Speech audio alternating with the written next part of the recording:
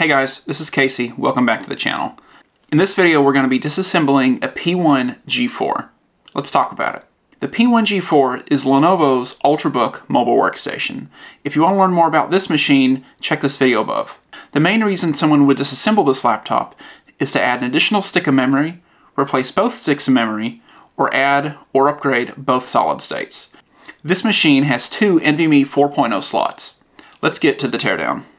Starting off, this machine has seven regular Phillips screws, two on each side and three in the middle. Standard removal process here.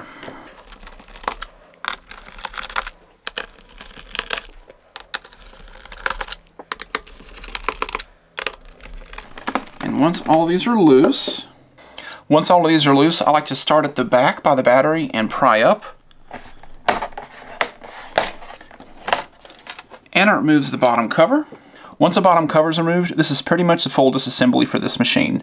You have the CPU, the GPU, the primary RAM slot, which is right here, the secondary, which is right here, and here's a primary NVMe slot, and the second is over here by the memory. Really, that's it for this machine. Once you finish your upgrade or repair, you install in reverse order. The back side has two little latches. You're going to want to line up first. So you're going to want to start on the front side of the machine and then straight down. It's as simple as pushing down until you hear the clicks. One, two, around here. And then a simple reinstall of the screws.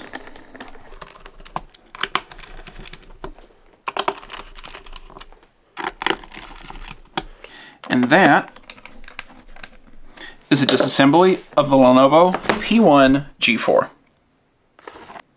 Thanks for watching. Please check out my other videos and consider liking and subscribing. Thanks, and have a great day.